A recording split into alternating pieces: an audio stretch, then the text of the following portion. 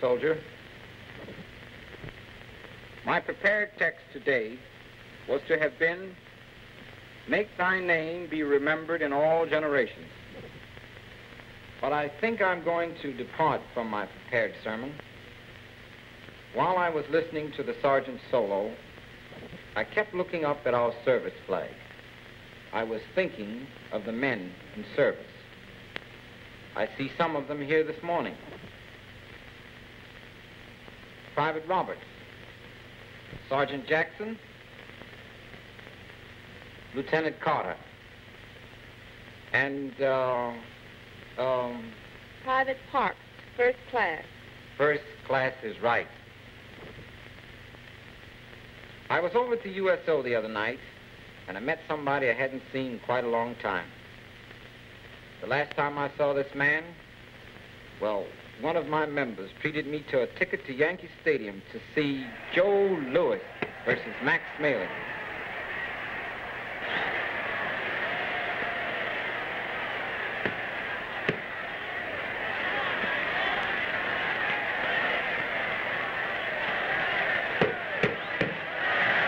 In one minute and 49 seconds, an American fist won a victory. But it wasn't the final victory. No, that victory is going to take a little longer and a whole lot more American faith. Now, those two men that were matched in the ring that night are matched again. This time in a far greater arena and for much greater stakes. Max Schmeling, a paratrooper in the Nazi army. Men turned into machines, challenging the world. Joe Louis, training for the fight of his life.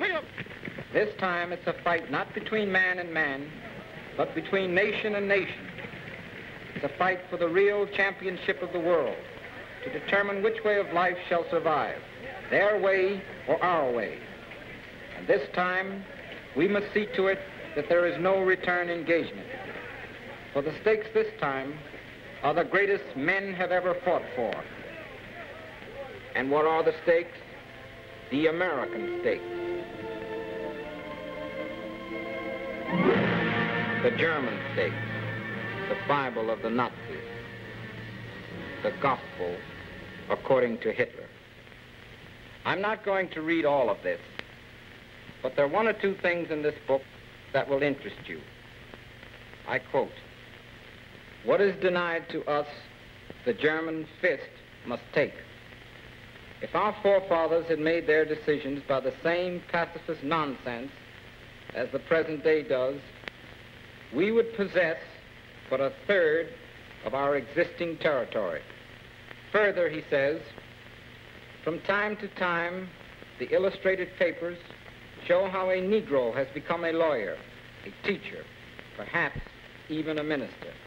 It never dawns on the degenerate middle-class America that this is truly a sin against all reason, that it is criminal madness to train a born half-ape until one believes one has made a lawyer of him.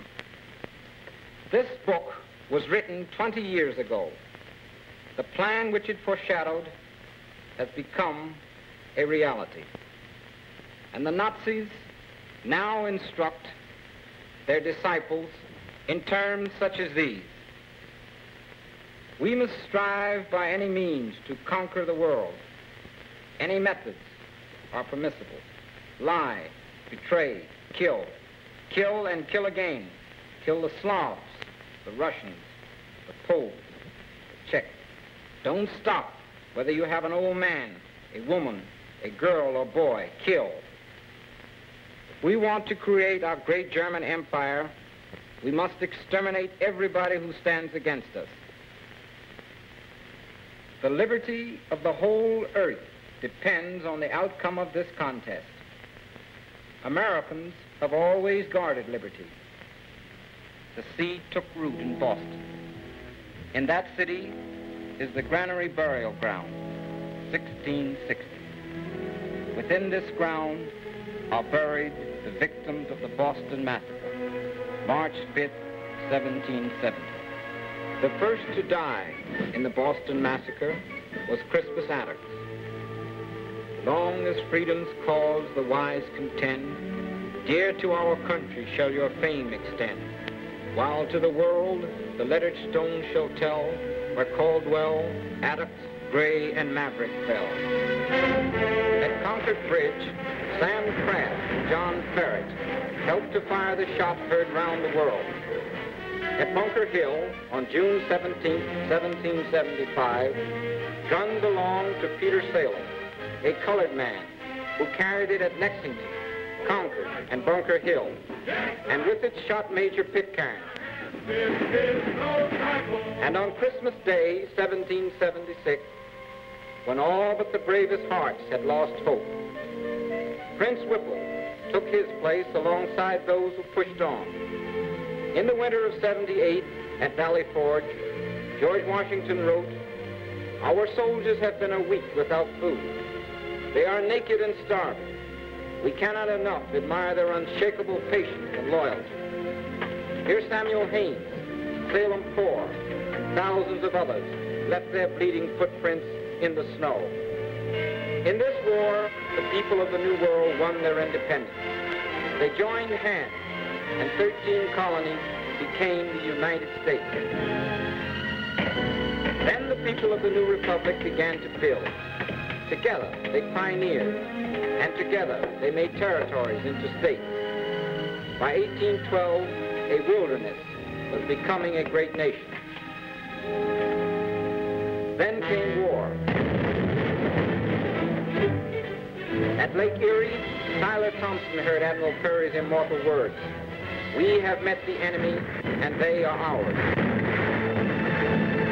And in New Orleans, when General Jackson said, By the eternal they shall not sleep on our soil, Thomas Wilson was there. America began to build ships. Then came 1861. The government of the people, by the people, for the people, shall not perish from this earth. With malice toward none, with charity for all. Then America began to rebuild.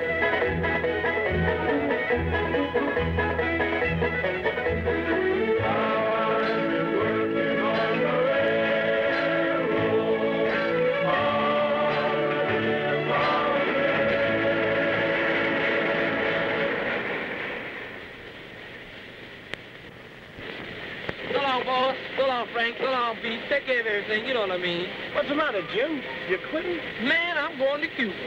Cuba? Yeah, with the 9th Regiment, United States Cavalry, horsemen. Jim fought in the Spanish-American War. At Santiago, Cuba, the 9th and 10th Cavalry, the 24th and 25th Infantry added to their long record new medals for courage and gallantry. I'm Jim. After we cleaned up in Cuba, we went on with building factories, cities, everything. As for me, well, I went to Panama to help on a little job. A little job connecting the Atlantic and Pacific. A little job.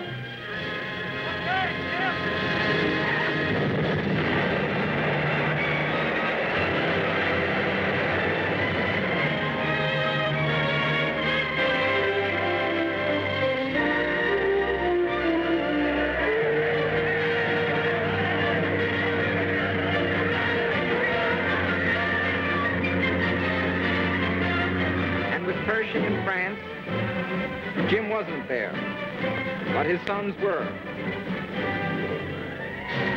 Serving with the 813th Pioneer Regiment near Marseille, the 332nd Labor Battalion, and the 808th Pioneer Regiment near Verdun.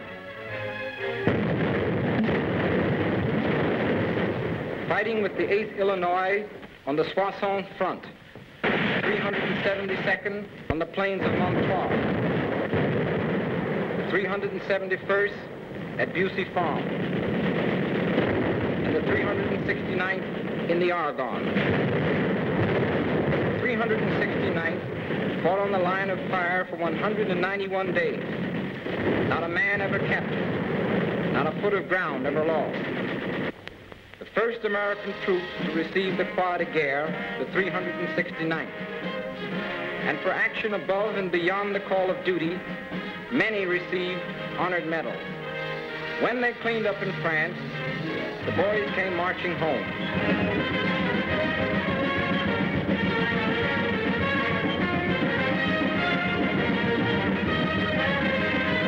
Among them was Henry Johnson, who with one companion, Needham Roberts, killed four and captured 28 Germans, for which the French nation decorated them for exceptional bravery. And there were those among the honored at Arlington, Samuel Washington, Walter Waters, William Fox, John Sims, Young, Charles Young, Colonel, United States Army. And to their memory, sermons in stone and bronze, tributes of a grateful nation, to commemorate the heroism and sacrifice of all colored soldiers who served in the various wars engaged in by the United States of America. That a lasting record shall be made of their unselfish devotion to duty. And in France at Bussy-Farm, the French people erected a memorial to the 371st Infantry. This stone and the ground on which it stands are dedicated to the Negro troops who fought and died here on April 21st, 1918. 23 years later, on June the 15th, 1941, an invading German army... Yes, the Nazis destroyed our monuments in France, but our monuments here stand and will always stand. The founder of Tuskegee Institute, Booker T. Washington, 1856-1915. He lifted the veil of ignorance from his people and pointed the way to progress through education and industry. The late George Washington Carver, honored in the chemistry of agriculture, and the men and women building the monuments of tomorrow. Law, elected judge of New York City courts, serving his second 10-year term. Explorer, the only other American with Admiral Peary when our flag was planted on the North Pole. Medicine, leading New York City surgeon. Father of the blues, seer and publisher, contributing to the war bond drive. Education, principal of a New York City public school. Curator, Schomburg Collection of Literature, international prize-winning sculptor. Singer.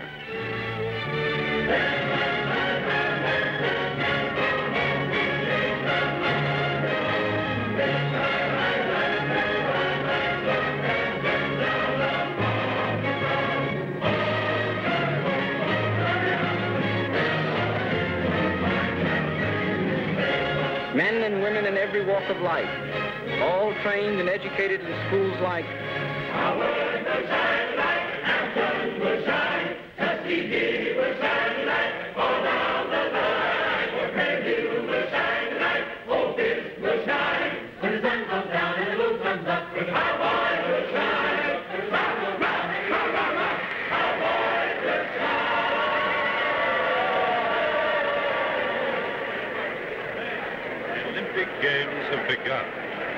The best athletes in the world have come to Berlin, and 51 nations are represented here today.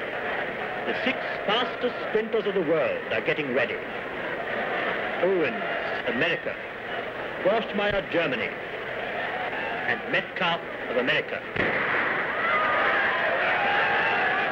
Owens is ahead.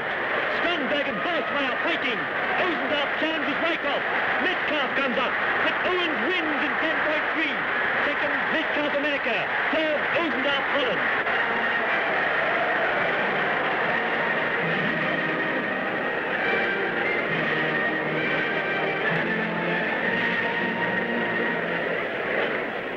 The men's high jump. Rheinkertz, Germany.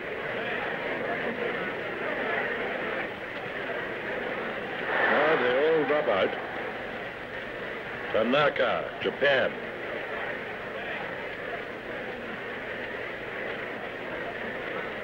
Now He drops out two. Bars now 2.03 meters high. That's 6 feet 8 inches. And Johnson of America.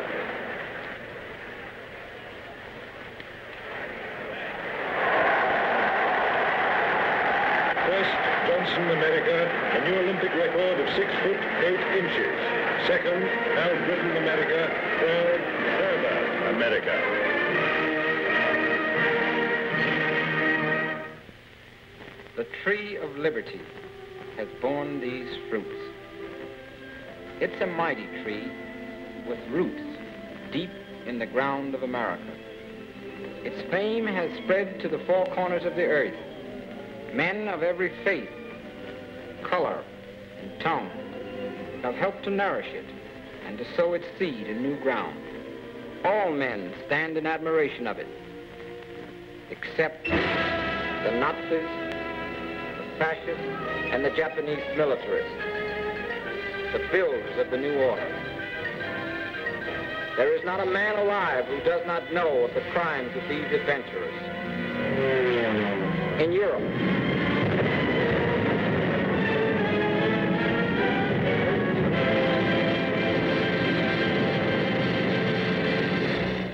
by order of the German Army High Command, thousands of innocent men, women, and children have been shot and hanged.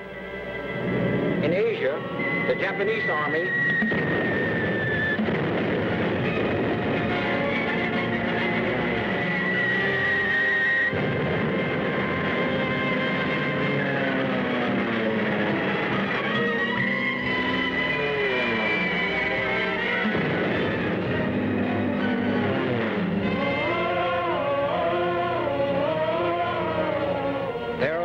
who will tell you that Japan is the savior of the colored races. On December the 7th,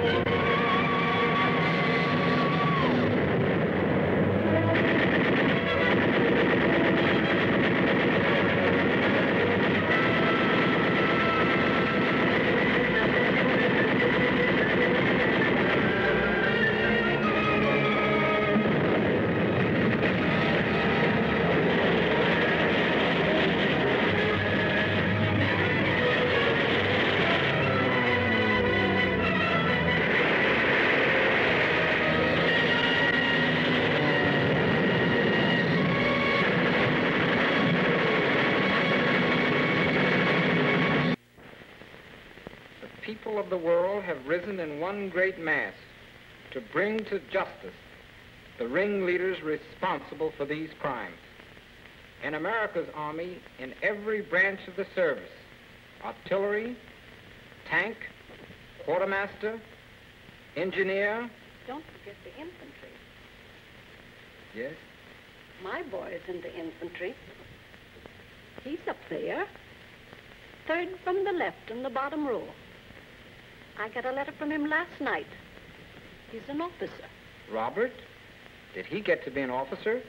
Yes, he says so right here. Dear Mama, at last it's happened. I'm an officer. Lieutenant Robert A. Bronson, infantry. Don't it sound good? Of course, I haven't got my bars yet. But I'm on my way to officers' candidate school for four months. And if I pass the examination and graduate and get my commission, I'll be an officer. Now, I can do it, Mama.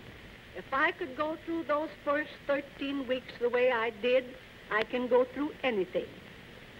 That morning at the railroad depot, I didn't know which side was up, but misery sure loves company. When I said goodbye to you, I was laughing, but I wasn't tickled.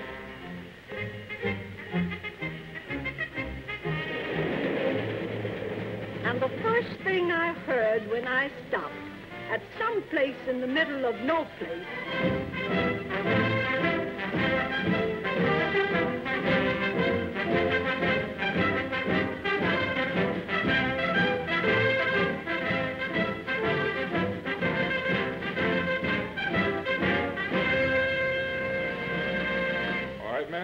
On behalf of the United States Army, and the reception center here at this camp, We're glad to welcome you here today and into the United States Army. We're glad to see all of your happy, smiling faces.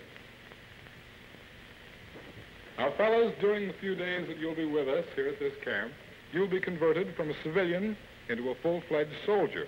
You'll be interviewed by someone who will inquire into your past life before you came into the Army. You assisted a machinist on the construction of guns and gun parts? That's right. What machines did you operate? I operated boring mills, tool grinders, drill presses, planes, and... Forward! Forward! Hut! Hut! Hut! Hut! Hut! Hut! Hut! Pick it up! Pick it up! Nobody! Ho! Ho! But I don't want to give you the impression that it's only for religious services and advice that you can come to the chaplain. You can come to him at any time. For example, if you get in trouble with your girlfriend, she doesn't write to you anymore, you want to know how to propose, why, just come see the chaplain and he'll give you some advice. Or if you get in trouble with your first sergeant, you want to know how to handle him, just come around and see the chaplain and he'll give you some advice. Or if you're financially embarrassed, why, that's simple too. Just come around and see the chaplain and he'll give you some advice. Now, Chaplain Sherman has just told you how to get along in this man's army. It's my painful duty to tell you what'll happen to you if you don't get along. Regarding the salute, man, it isn't a form of servility. It's merely a form of recognition used between members of the military service. The average man, when he first learns to salute, is awkward. It's a strange gesture to him, and he feels shy.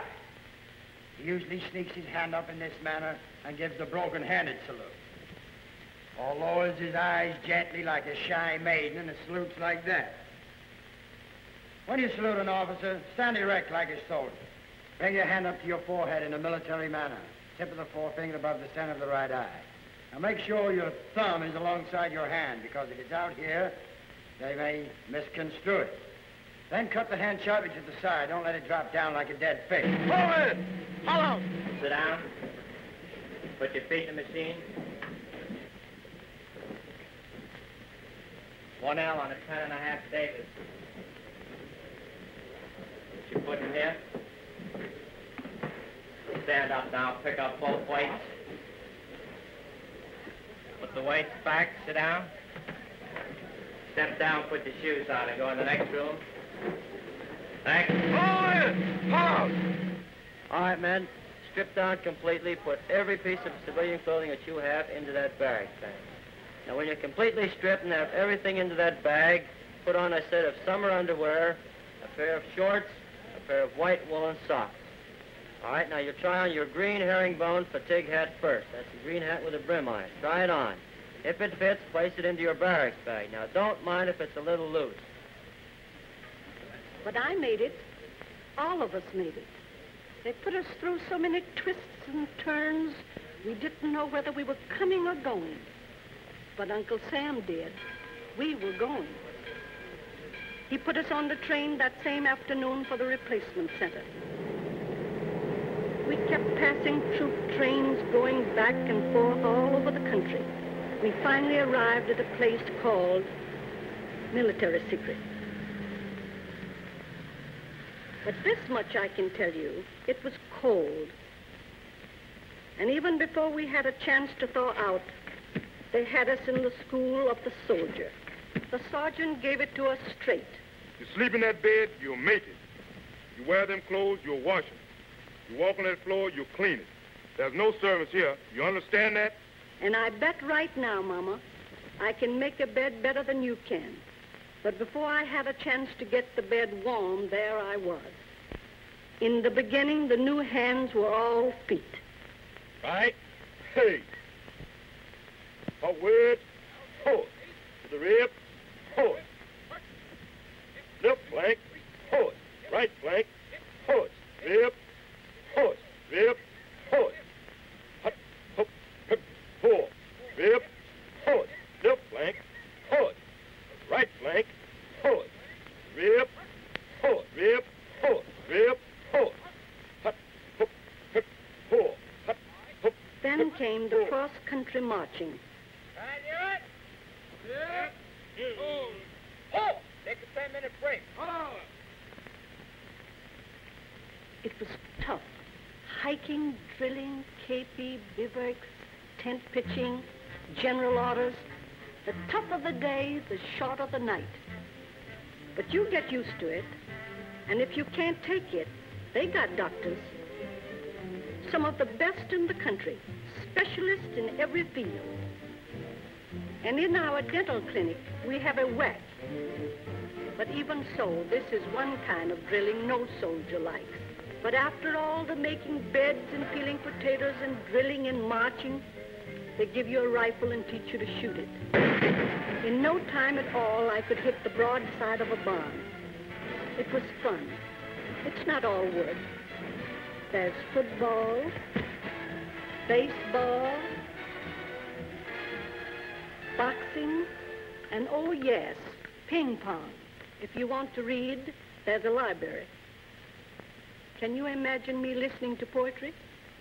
But it came in good. The very next day, I got a chance to use it. We were sent on a detail to a nearby camp. I saw some soldiering that was beautiful to behold. Battalion, and on! Forward!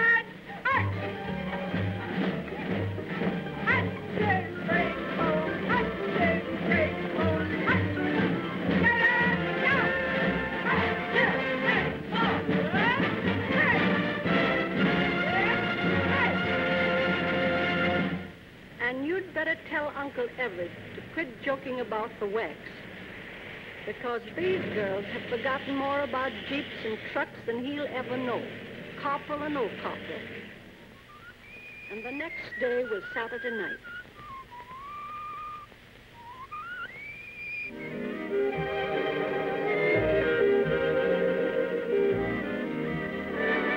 She was very nice, Mama. A real apple pie girl. Just the right size and everything. Just the kind you like. But in the Army, man proposes and GI disposes. And the next morning, I was out there like the rest of them, getting tough.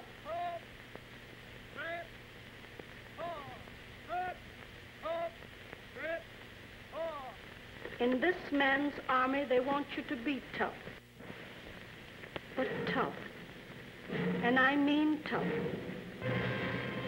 And tough in the army means a good fighter who can stand up against a strong enemy and beat him to the draw. And after a hard week, a soldier welcomes a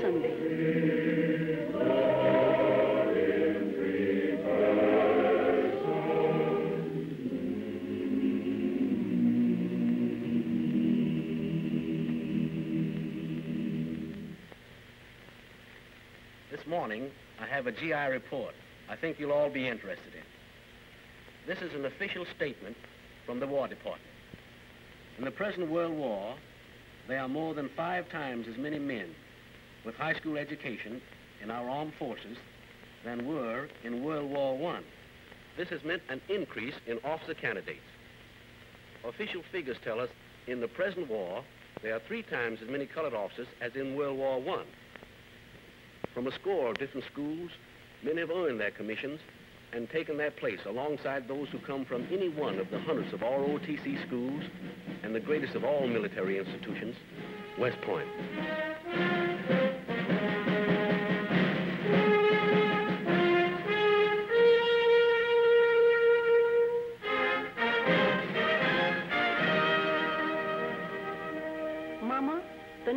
Time you see me, I'll be wearing an officer's uniform.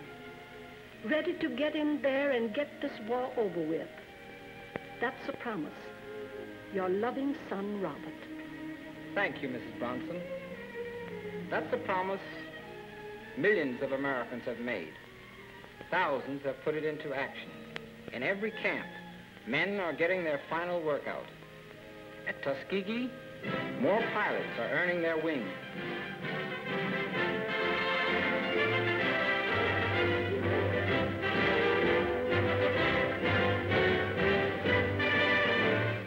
Short while, these young officers will be full-fledged combat flyers, taking their place at the controls of our fighter planes.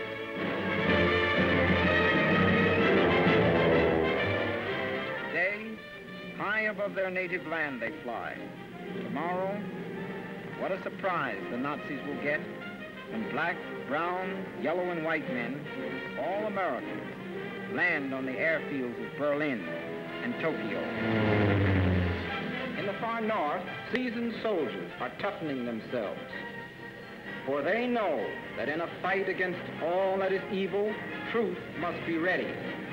Ready to strike hard and often. No waiting for weather or temperature. Any weather can be good weather. Any temperature can be right. When men know the meaning of their job and are determined to get it done, come what may.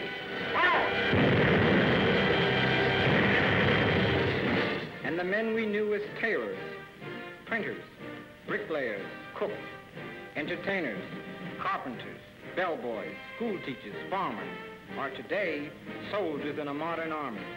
Tankmen, gunners, radio operators, and motor mechanics. Every man schooled in the meaning of teamwork.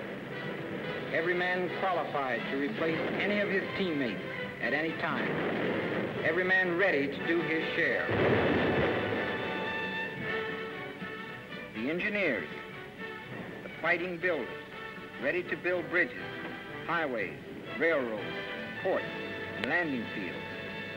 The quartermaster, who moves troops and supplies, who provides food, fuel, and clothing. The men who supply the means of communication, telegraph, telephone, and radio. The cavalrymen, ready to patrol, scout, harass.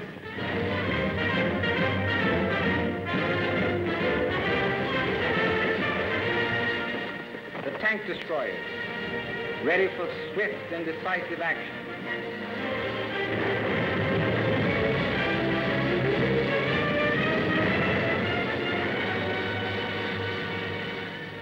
Hard-hitting anti-aircraft units, ready to knock Zeros and Messerschmitts out of the skies.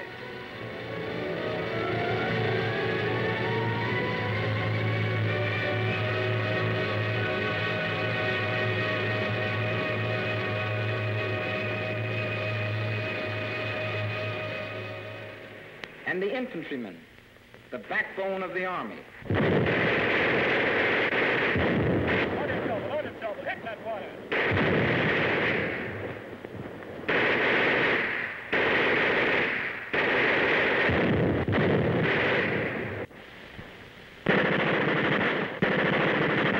This training has met the acid test of war. Across the Pacific, across the Atlantic, the shadow of defeat hangs over the Axis partners as the Allies liberate town after town.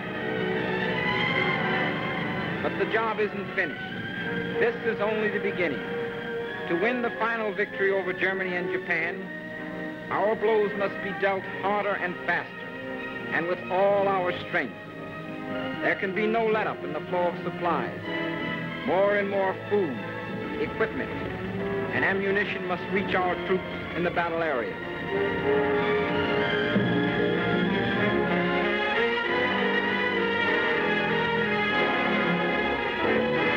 More airports, landing fields, docks, bridges, and roads must be built. Our troops must build them through the swamps of the South Pacific, the snows of the far north,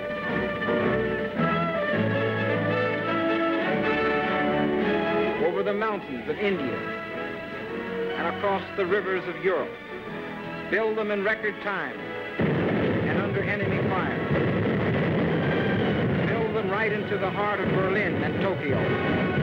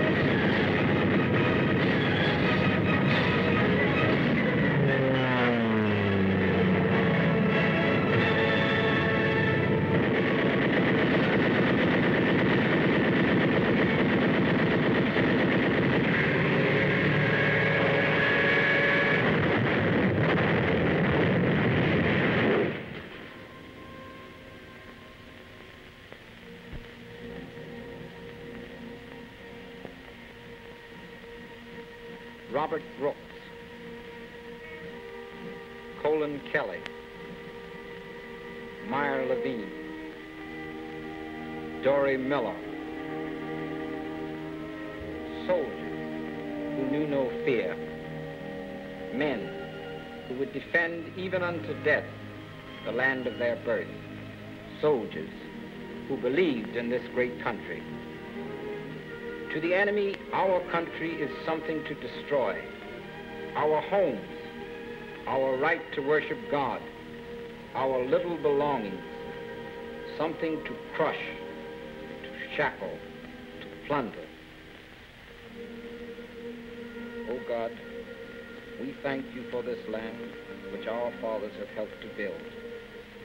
Grant that we may, with your help, be worthy of this heritage, and in our turn enrich it for our children.